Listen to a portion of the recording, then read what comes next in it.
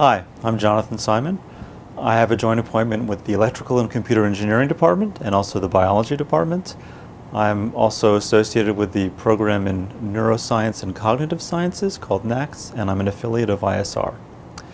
I study uh, neuroscience, especially auditory neuroscience, but my original background was in physics.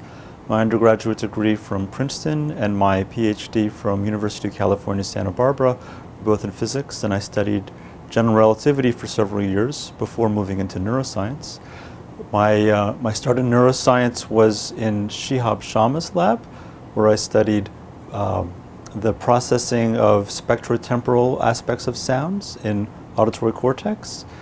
And since then, I became faculty at the University of Maryland. And now I still study auditory neuroscience, but different areas. Most of my research is dedicated to auditory neuroscience. I'm especially interested in, well, I'm interested in all parts of the brain, but the brain is a big place and it helps to have an area of focus. My area is how the brain processes sounds. I'm especially interested in temporal processing, which is to say sounds have a lot of, of uh, properties um, that depend on time associated with them.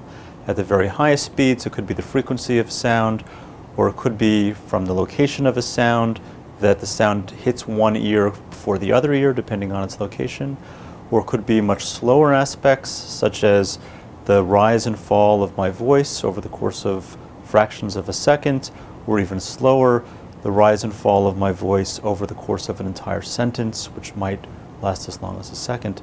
The brain uses all of those different aspects of timing when it's processing sounds for different purposes, and I'm interested in all of them.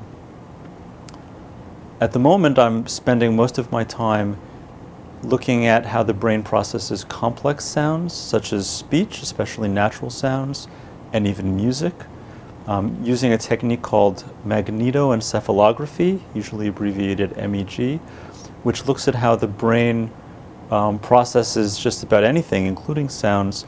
It uses it can be used on human subjects, which is how I use it. It's completely non-invasive and silent. Um, unlike fMRI, it uh, has very high temporal resolution, uh, fractions of a second instead of several seconds which is why it's especially useful to me in my auditory neuroscience studies.